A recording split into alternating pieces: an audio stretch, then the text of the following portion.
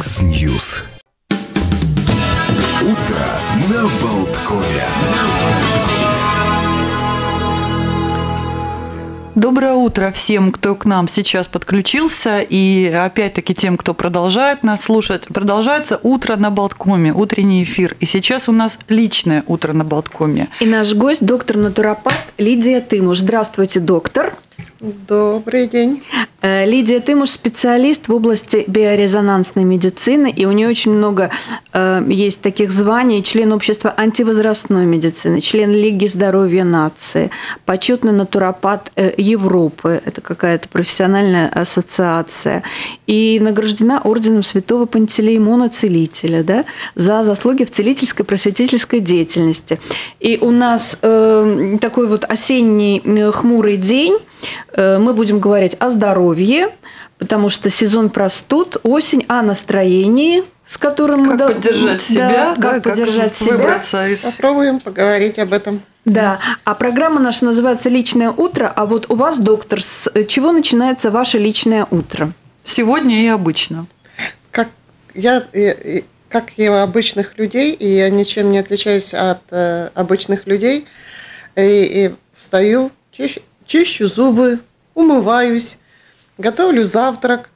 Э, э, если есть возможность, когда не сильно занята, я делаю небольшую гимнастику, зарядку, там, можно даже в кровати, можно присесть, можно при... Э, и, в принципе, быстренько собираюсь и еду на работу. Когда погода пасмурная и более прохладно, естественно, каждое утро я еще Э, принимаю натуральные препараты, я знаю, как, какие мне нужно, да, чтобы защитить, защитить себя от вируса, от гриппа, потому что есть такие препараты, которые перед тем, как выйти на улицу или перед тем, как ты должна встречаться с определенным количеством людей, есть препараты, которые в той или иной мере могут защитить, защитить организм, да, вот и все, это мое утро.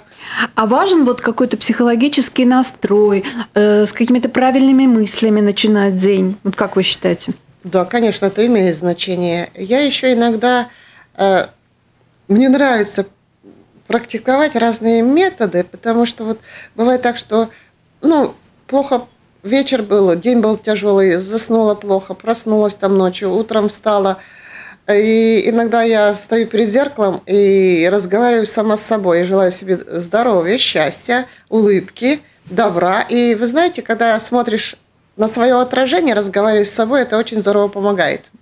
И улыбаться надо. Подходить да, к зеркалу и улыбаться. Да, конечно, да? потому что ты смотришь на свое отражение, и ты разговариваешь сама с собой. Потому что есть вещи, которые помогают, э, например, мне, я буду говорить о своих примерах, э, когда были у меня проблемы со здоровьем, и я разговаривала сама с собою, да, и когда была наедине, и, и как бы понимая себя изнутри, и мне это давало силы. Поэтому точно так же утром, если ты чувствуешь, что бывает так, что день тяжелый, много пациентов, устала, утром надо идти на работу, погода плохая, там, ну, хорошо помылась, ну, хорошо позавтракала, ну, хорошо сделала легкую зарядку, но э, чтобы совсем, ну, день был хорош, и э, чтобы ты могла сделать э, то, что ты хочешь, и э, дать людям добро и любовь, то ты, естественно, должна иметь сама это внутри.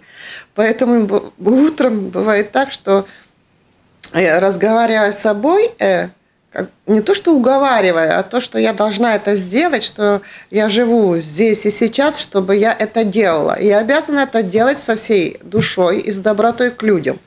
И, в принципе, когда ты об этом думаешь, э, то кажется, что настроение другое, и сила сразу появляется. И, и вроде бы и, и тебе как-то лучше на душе, и ты понимаешь, что ты же тоже настроение, и тоже тепло дашь человеку, который будет рядом с тобой так, находиться. Взаимо такое обра... Да, да, потому что процесс. это очень важно, это очень важно.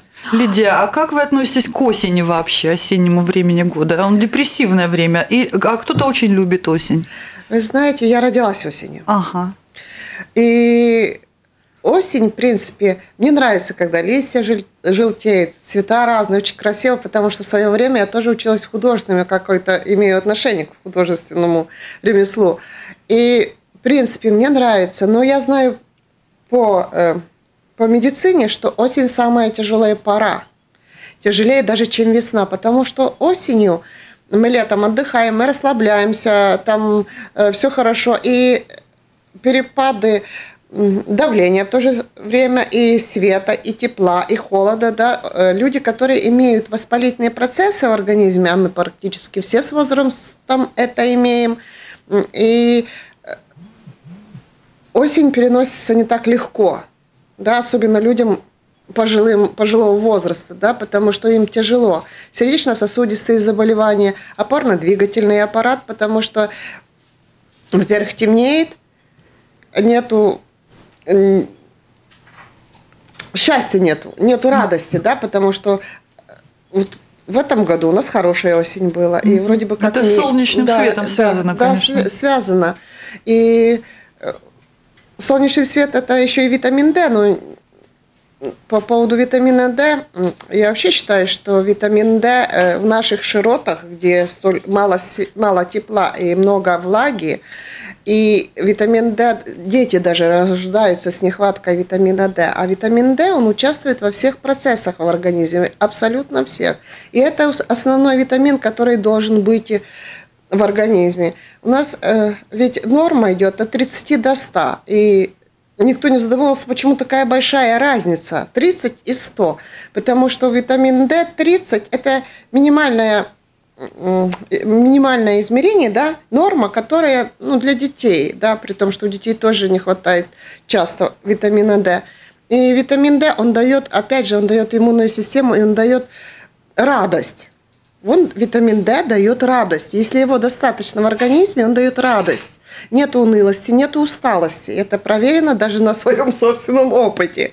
Поэтому то есть нужно попросить у семейного врача. Это обязательно. Э, когда какой-то анализ крови сдается, Обяз... или можно отдельно, да, направление на анализ витамина D. Дело в том, что я бы, я бы вообще рекомендовала, чтобы витамин D, как э, вот вы сдаете анализ крови, там э, общий анализ, развернутый, э, короткий анализ, ну, да, чтобы там обязательно включался витамин D. Потому что если ты сам просишь, он порядка 10 евро стоит этот анализ. Э, да, это так. То есть но... надо просить направление у семейного да, доктора. Да, надо просить. Если есть такая возможность, то, конечно, лучше пойти сдать даже за свои, за свои собственные деньги, проверить этот витамин D, потому что это основной витамин D, который нам нужен. Я почему это говорю? Потому что после того, как у меня была проблема со здоровьем, начиная где-то с 2006 года, я витамин D пью постоянно. Я его пью постоянно столько лет. И у меня никогда не было, потому что э, никогда не было перебора. Никогда не было. Некоторые говорят, что витамин D очень сильно влияет на почки, если почки слабые. Или он там накапливается и будет больше, чем 100 э, единиц. Я не встречала за, свои, за свою практику более 10 лет, я не встречала, чтобы у человека была верхняя граница. И, и в том числе я, которая пью. У меня бывает так, что я витамин D там, ну, у меня закончился, мне не было времени пойти в аптеку купить, да, и я там какую-то недельку его не, при, не, не пропила. А так как у меня нету щитовидной железы, которая там пара щитовидной отвечает за витамин D в каком-то э, каком-то количестве, но при этом э, за витамин D, как мы знаем, отвечает и печень, и почки отвечают, и кожа наша отвечает. Но с возрастом я так понимаю, что э, с этим сложно. И поэтому я иду, я не, неделю не пропила витамин D, я понимаю, что у меня начинают челюсти болеть, у меня начинают корни зубов, зубы болеть, да, меня э, суставы начинают болеть, потому что у меня нету витамина D, его неоткуда взять. Понимаете? Поэтому это должно быть обязательным. А вот вы профессиональный медик, то есть вы ну, просто вот работали там в поликлинике. А с чего начался ваш интерес, такой поворот к э, натуропатии, Что к натуральным средствам, такое? к альтернативной медицине? Да. да. То есть... Вы знаете, я... Э, да, у меня есть медицинское образование. Когда я заболела, у меня была серьезная болезнь, болезнь это была онкология, и было так, что опять же, это мой личный пример. Да? Э, я чувствовала себя не очень хорошо, у меня были узлы в щитовидной железе, я наблюдалась сначала раз в год, потом каждые полгода, да, и, и то они увеличивались, то не увеличивались, по, по, это, э, по разным ситуации были. И потом я чувствовала себя не очень хорошо, пошла, сдала анализы, посмотрела, УЗИ все сделала. Мне говорят, да нет, у тебя там как были узлы, так есть, ничего, все в порядке. Да, там не это. Ну, в течение 10 дней я чувствую ухудшение. Я понимаю, что у меня там что-то происходит. Я чувствую, потому что я чувствительный человек, я очень сильно реагирую на, на все на окружение, да. Я пошла опять, да, сделала УЗИ, и мне говорят, говорит, у вас размножаются клетки с бешеной скоростью. Это в течение 10 дней, при том, что я сдала все анализы, я проверила все. Ничего не было. За 10 дней у меня была третья стадия. Понимаете? За 10 дней. И когда я пошла на операцию, я потом, после было осложнение, я какое-то время не разговаривала, и я поняла, что мы можем сдавать анализы, мы можем сдавать кровь, но это, э, если это только начальная какая-то ситуация, да, то не всегда тоже МРТ, тоже УЗИ, сонография, МРТ и так далее, и так далее. Не всегда мы можем это увидеть. Да? Это, у нас нет еще такой таких технологий, что можно увидеть процесс, как, как только он зарождается. Он должен пройти уже какой-то путь определенный, что мы могли это увидеть на, на, да, на оборудовании. Да, да, на оборудовании. Поэтому, когда это со мной случилось, я пошла, я сделала операцию и так далее, и так далее. Я тяжело с этого выходила. И э, естественно, химия, э, она убивает сильно костную ткань, она иммунную систему убивает, она убивает организм, да. И когда я к своим коллегам обратилась, что делать? Э, у меня была очень сильная аллергия. Я утром просыпалась и не могла открыть глаза. Я настолько отекала, я пила э, лекарства, но это было временное. И я понимала, что если я тогда так дальше буду пить, то я просто не смогу, ну, не выживу. Ну, я решила искать себе какое-то лечение, другое лечение, чтобы мой организм мог переносить это все. И я стала читать в интернете, я стала смотреть, какие есть препараты натуральные, там биологические добавки и так далее, и так далее, гомеопатия. То есть на, на свое базовое медицинское образование да. вы стали э, да, искать, искать дополнительное на... медицинское образование? Да, да, конечно. Я э, стала смотреть травы, какие травы, что делают, как вещества и прочее, прочее. И мне посоветовали, попробуй э, есть такие аминокислоты, молекулы, пептиды, да, попробуй их. Я взяла себе, э, купила, пошла купила и попробовала. Я прямо заливала на лицо, да, там есть в жидком виде они, я заливала на лицо, и вот оно сильно пекло, я прямо кричала, да, мне было больно, но я понимала, что я должна что-то делать, иначе я не решу эту проблему. И где-то на третий день утром я просыпаюсь, а у меня уже нет отечности. И я поняла, что это срабатывает. И я пошла, пошла, пошла, пошла, стала искать компании, препараты. Пропуская через себя, я теперь понимаю, что я могу предложить, что я не могу предложить, что может работать, что не может работать.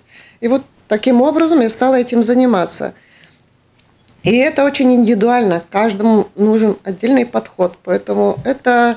Общих, таких, общих таких рецептов нет, нельзя? Нет, нет, я, не, я не, не могу сказать, что вот это тебе хорошо, и это будет тебе хорошо. Я не могу это сказать. И точно так же я считаю, что в официальной медицине, в классической медицине меня удив... как-то, опять же, по своему собственному опыту, есть назначение, да, там, сердечно-сосудистый там, препарат, да, есть э, пить там одну капсулу два раза в день или так, да, есть мужчина, есть женщина, есть вес – большой вес, маленький вес. Есть дополнительные заболевания, есть хронические заболевания. Это невозможно. Мы, же не роботы, мы пока еще не роботы, поэтому у нас у каждого есть своя энергетика, есть своя возможность организма и клеток и иммунной системы, которая может принять. Кому-то, например, одной таблетки достаточно, кому-то пол таблетки достаточно, кому-то двух мало – Поэтому это лечение как в классической медицине, как и в альтернативной медицине, которой я занимаюсь, это, это одно и то же. Это должен быть подход каждому человеку. И тогда результат мы будем получать. А как семейный врач, у которого э, несколько сотен пациентов, и у него отведено там, не знаю, 5-7, ну максимум 10 минут на каждого, Ну, а как ему осуществить вот в А он не нынешних сможет. условиях такой он не подход? сможет это сделать, потому что он работает, это его работа, и это его профессиональная работа, и он должен этих людей принять. И там он может, он сделает опрос, там человек приходит, что болит, вот меня то-то болит. Давайте, есть протоколы, при том или ином заболевании есть протоколы, которые, которые они должны придерживаться этих протоколов и назначать, назна- назначать лечение по заболеванию назначает, э, нету результата, э, пациент опять приходит, ну нету, не помогает, давайте вот это попробуем, давайте это, это попробуем. И они в таком, такой ситуации, в таком положении, что они не могут по-другому работать. Э, Ведь врачеватели, семейные врачи, они были много-много веков назад. И вот эти семейные врачи, они были как члены семьи. Они были вхожи в дом, они знали на- родословную, они знали ге- генетику семьи. И они были, они всегда были рядышком, да. Мы можем записаться на прием к семейному врачу. У него есть, как вы правильно сказали, здесь 15-20 минут на то, чтобы нас принять, выслушать и написать рецепт, да, что мы пошли в аптеку, взяли этот рецепт, да. У него, у него эти обязанности, он исполняет свои обязанности. Он не может другого ничего сделать. Потому, извините, пожалуйста, потому нужны центры здоровья. Лидия, а вот вы сказали, что э, вас спасли э, пептиды, да? Да, Ты- конечно, стали, да. стали изучать вот Да, э, да. э, э, э, эту сферу. Сейчас, в принципе, очень популярно становятся вот это пеп- пептидные различные добавки, в том числе э, в косметике, да, и говорят, что там какие-то чудотворные эффекты она дает. Вообще, что такое эти пептиды? Пептиды – это вообще молекулы, это, которые состоят из э, аминокислотных соединений. То есть э, пептид, э, их есть несколько разновидностей. Да? Это белки, и наш организм состоит тоже из белков. У нас мы, как бы, каждый орган имеет свои белки. Печень – одни белки, почки – другие белки. Да? И вот, вот эти белки, они соединяются Каждый белок имеет свое определенное количество э, аминокислотных со- этих соединений. И чтобы вот это соединение собрать, это собирают пептиды. Это получается как э, есть цепочка, да, и она оборвалась. Она могла оборваться там хроническим заболеванием, генетическим заболеванием, да, Вирусом? вирусом тоже, гриппом, э, чем угодно то, что дает обратный, обратную ситуацию. И вот пептиды, которые, э, ну, они, вы принимаете его, они вот эту цепочку, они восстанавливают, они как за, ключик в замочек, да, и вот, вот там, где было порвано, он подсоединяется, и вот эту цепочку он восстанавливает, насколько это возможно. Конечно, зависимо, какая концентрация, да, для чего и как. Это тоже очень-очень сложный процент, э, процесс.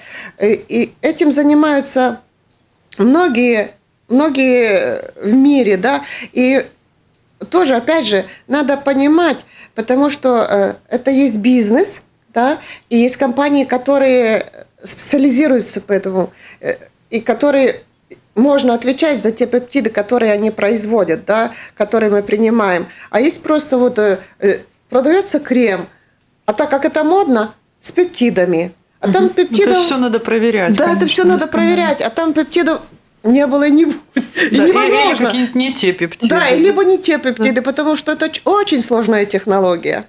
А, Мы мы говорим, у нас разговор о здоровье с доктором натуропатом Лидией Тымуш. Личное утро. Сейчас перерыв на несколько минут, и мы продолжим эту тему. Оставайтесь, пожалуйста, с нами. Mix News. Мы продолжаем личное утро на радио Болтком. С нами сегодня доктор натуропат Лидия Тымуш. В первой части э, пр- программы мы э, остановились на таком волшебном слове пептиды, да, то есть почему Да. они нужны и, и как, как определить, что они нужны. Они нужны. И всем нам нужны. Потому что пептиды, как я уже сказала, они состоят с аминокислот. Аминокислоты – это белки, а мы и есть белки. Но белки есть растительного происхождения, да, То же самое, да, э, трава, растения, они тоже белки, но они просто растительного. Мы животного, а не растительного. Поэтому все живое на Земле состоит из белков. То есть говорит о том, что пептиды – это мы. Мы – это пептиды. Грубо говоря, так. Лидия, вот вы очень важный совет в первой части озвучили сейчас. Подчеркнем, а, всем очень рекомендуется проверить а, состояние витамина D в организме. То есть пойти просто издать анализ на наличие витамина D. Да? То есть какие еще витамины очень важны вот сегодня в эту осеннюю такую слякотную погоду и когда у нас э, грипп, грипп и вирус наступают со всех сторон. Не только коронавирус, а да. а просто простудные инфекции. Что важно поддерживать в организме? Баланс какой? Э, я бы еще, кроме витамина D, рекомендовала сдавать всегда, проверять себя на магний, на цинк, на витамин С, на группу витаминов В. Потому что вот эти витамины, которые принимают э, э, участие в нашей иммунной системе. Да? А как мы знаем, что иммунная система – это наша защита. Бытует разное мнение, что как будто у нас э, иммунитета нет, но это не так. Есть иммунная система, есть клетки, которые защищают нас от вируса. Вирус, попадая в организм, клеточки, э, киллеры, они убивают этот вирус. Для того, чтобы они были достаточном количестве у нас в крови должен проходить процесс. А чтобы проходить, проходил этот процесс, не всегда его хватает, э, не всегда наш организм может э, в достаточном количестве э, этих витаминов иметь. Мы можем принимать из нее, это еда, наша пища, да, то, что мы едим, то, что мы покупаем.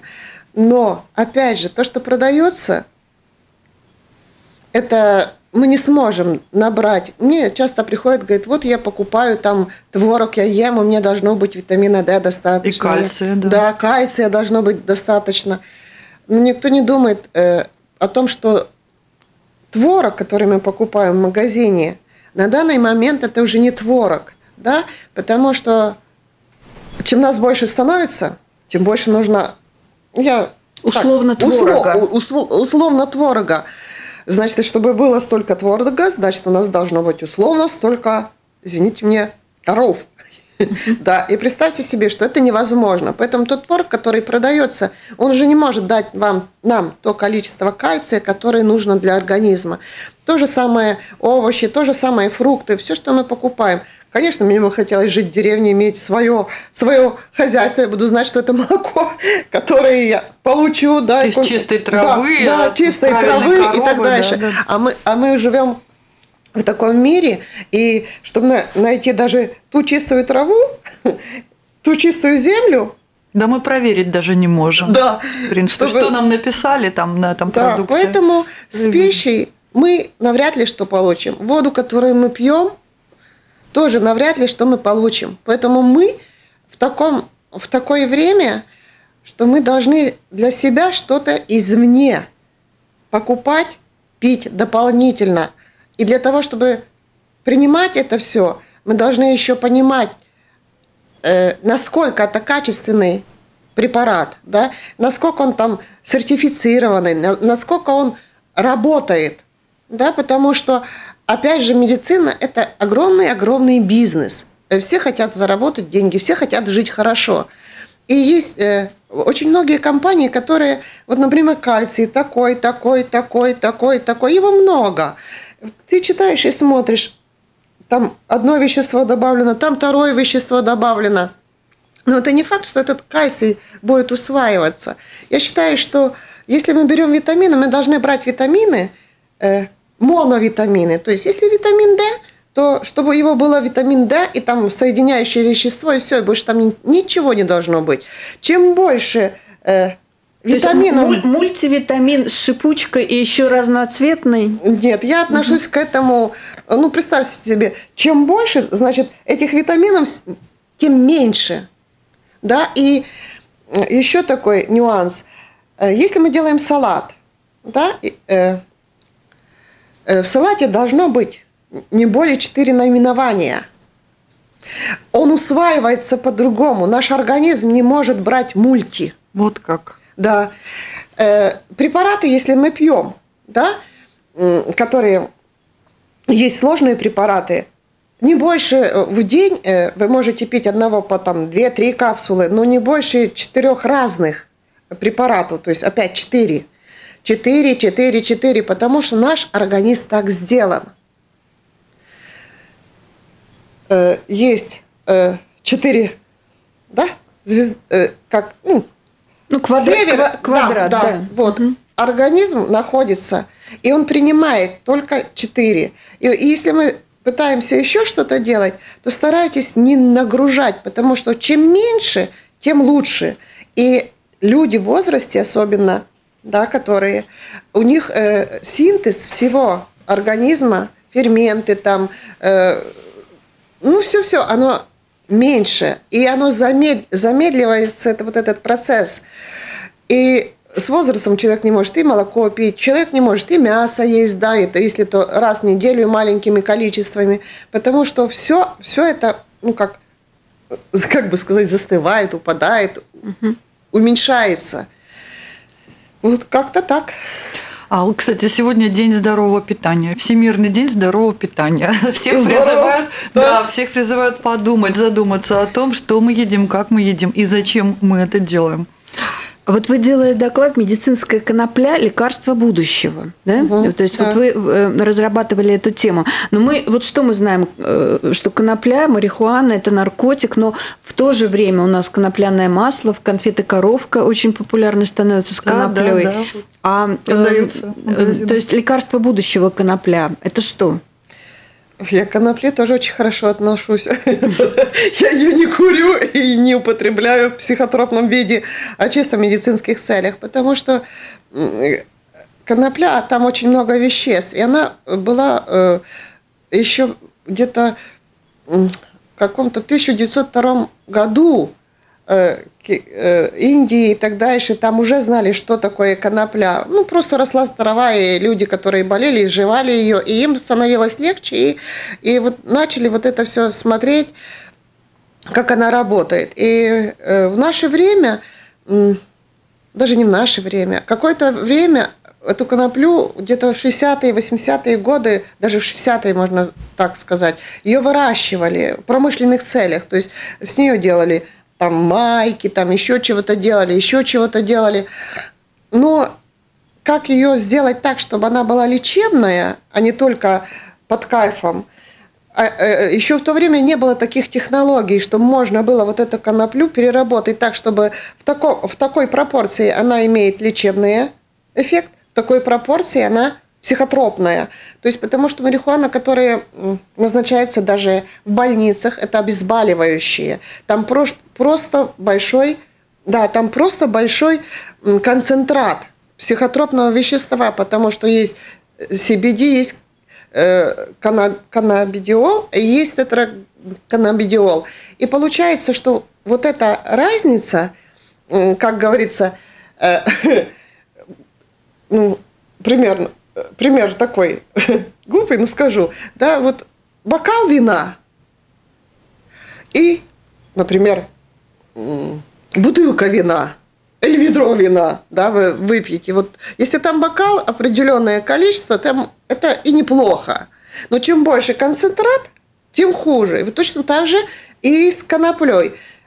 Одна пропорция – это лечебная, вторая пропорция – это уже лечебный и обезболивающий. Следующая пропорция – опять другое состояние. Следующее – опять другое состояние. И от, от этой концентрации, от этой дозы зависит то, что вы хотите получить. А что, вот э, для чего она нужна в, леч, в лечебном плане? В лечебном плане медицинская конопля, она очень хорошо работает при серьезных заболеваниях. Это депрессии, это нервная система, это опорно-двигательный аппарат, это люди, которые э, СПИДом болеют, это люди, которые болеют онкологией, потому что на моей практике э, вот онкологические процессы, все эти химиотерапия, облучение и так далее, и так далее, э, человека в этот период, он, э, его, его, у него тошноты, он плохо кушает, но организм просто перестает работать.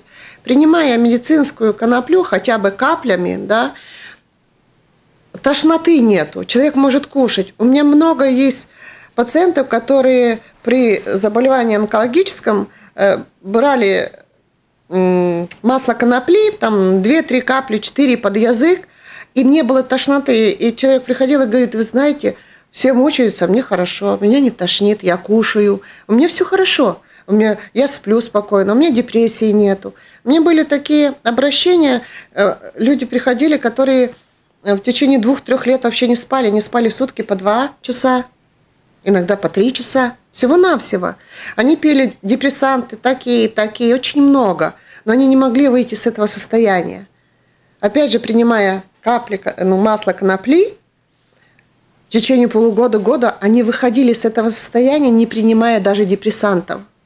Ну, давайте все-таки подчеркнем, что это нужно только под контролем врача да, делать, конечно, а обязательно, конечно. да, и это, Это должно быть И потом мотивировано какое очень масло серьезно. выбрать? Опять же, вот как вы сказали, приходишь, и у тебя там э, 15 разновидностей кальция, и ты никогда не знаешь, где этот Да, кальций на конечно. Малой Арнаутской накрутили. Да, да, или да. это действительно лабораторная какая-то разработка качественная. Да, поэтому точно так же по любому препарату и точно так же по маслу. Конопли, вы говорите, вот они продаются божья коровка. Там, да, там тоже есть конопля, но там 0,2% CBD, то есть э, э, вещества, которые будет давать лечебный процесс, да, который будет получать организм. Поэтому от дозировки зависит. И для того, чтобы э, я для себя взяла, да, я перебрала очень много компаний, которые занимаются производством медицинской конопли, чтобы найти то масло, которое при меньшем количестве дает больший результат, и в которого самый меньше психотропного вещества, то есть там 0% психотропного вещества, то есть это просто лечение. Это просто лечение. Лидия, а вот сейчас очень модно эм, anti-age движение, там anti-age, эм, антивозрастная медицина. Вот. Как можно ли вернуть молодость? И Остановить да- даже вот процесс? э, в Петербурге есть целый институт, который занимается Да. этим. Вот как вы верите в это? Конечно, верю, потому что э, я, как только в Европе, у нас в Латвии, и в том числе в Европе, пришла, пришла компания на рынок, и я тоже много читала, потому что э, президентом э, геронтологии европейской является профессор Хайвенсон, который э, еще в 1978-76 году с Морозовым они начали еще в то советское военное время разрабатывать и смотреть вот эти препараты, да, которые могли бы, когда там человек заболел, серьезные заболевания, инсульт, инфаркт, да, и э, восстановительный процесс проходит очень сложно и очень долго, и не всегда это удается. И они искали препараты, которые могли бы помочь человеку восстановиться быстрее, и чтобы не было таких серьезных последствий. И вот anti-age- anti-aging, м, э, как бы лечение, которые, то есть компании, которые занимаются антивозрастной медициной, это и есть антивозрастная медицина, замедляет старение, в этом участвуют те же пептиды. А если принимать, правильно принимать, знать, что принимать, сколько принимать, мы можем э, замедлять процесс старения, это так. Но при этом э, нельзя сказать, что это панацея. Для, для этого надо заниматься физической, э, да, там, физическими упражнениями, Ну, комплексе ходьбой, всё, да, все что угодно, да, чтобы были физические нагрузки, потому что физи- физические упражнения, это движение, это наша жизнь, это вот мы кровообращение – это движение. И кроме этого мы должны питаться правильно, мы должны следить за тем, что мы кушаем, как мы кушаем. И э, есть так, что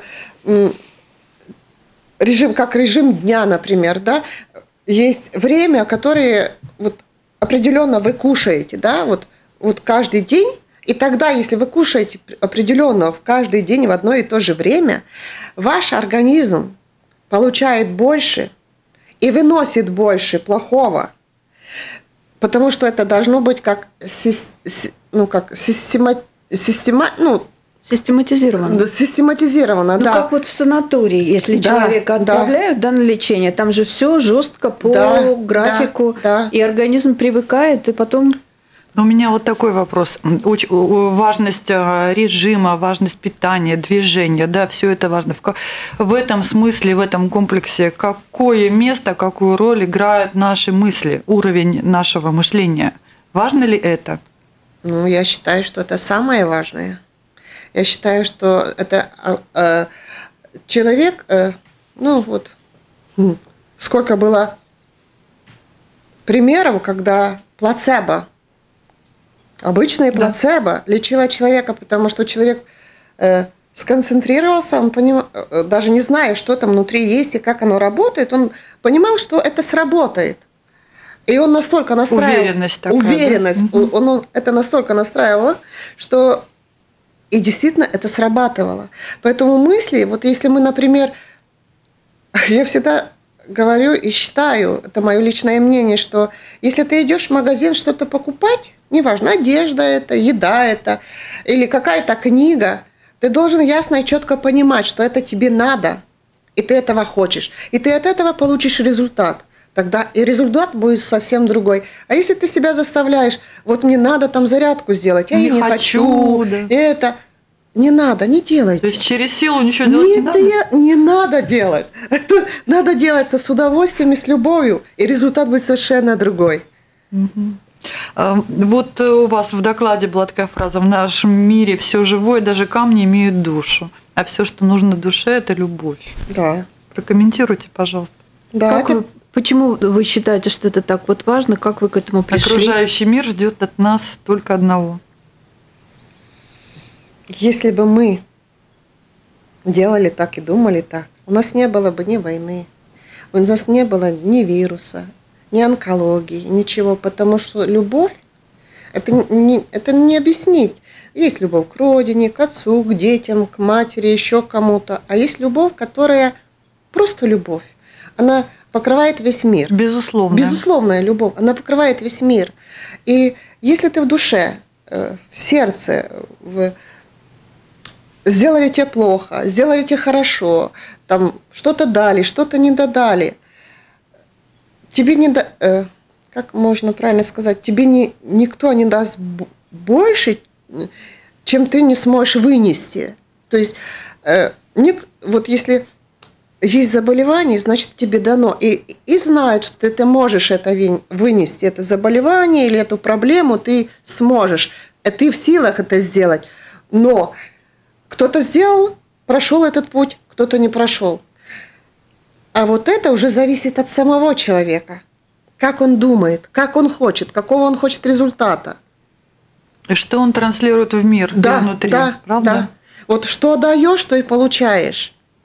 А вот вы э, говорите, что э, мы должны отдавать больше, чем получаем. То есть да. это такой закон. Но он работает и в э, физиолог, физиологии, в организме, да? Да, конечно. Потому что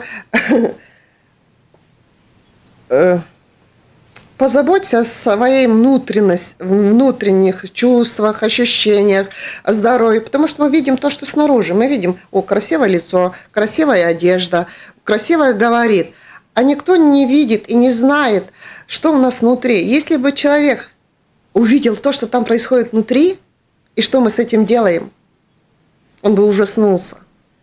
Потому что это самый-самый сложный компьютер, самый-самый сложный процесс, который можно только придумать. И для того, чтобы это работало, мы должны давать много-много, думать много-много – чтобы это работало, и чтобы мы получали то, что мы получаем. Это очень важно. И, в принципе, я бы хотела, чтобы каждый человек думал о том, кто он, зачем он здесь, что он может сделать для кого-то, не для себя, а для кого-то, кто находится рядом, как помочь, чем помочь. Хотя бы просто посмотреть, хотя бы просто улыбнуться, хотя бы просто сказать благодарю – и сразу мир будет по-другому, и энергия, и то, что нас окружает, будет по-другому, и другое отношение будет. Это безусловная любовь. Не надо ждать, что мне за это будет. Что я за это получу. Это ужасно. А вот вы получили орден Святого Пантелеймона Целителя, да, с формулировкой за заслуги в целительской просветительской деятельности. Mm. Что это за награда? Ну, это как одним словом сказать, это то, что ты несешь людям. Что ты несешь людям? И отвечаешь ли ты за свои поступки и за те слова, которые ты даешь людям?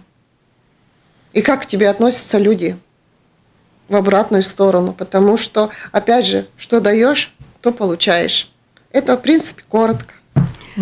Э, это была программа «Личное утро», и наша гость – доктор-натуропат э, Лидия Тымуш. Спасибо большое за э, такое доброе, доброе личное утро. Доброе начало да, дня. За правильную установку, правильные мысли и советы.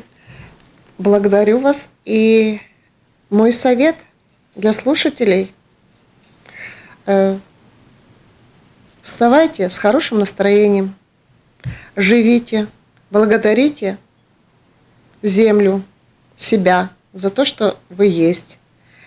И будьте счастливы и здоровы. Спасибо. Всего вам хорошего. Благодарю вас.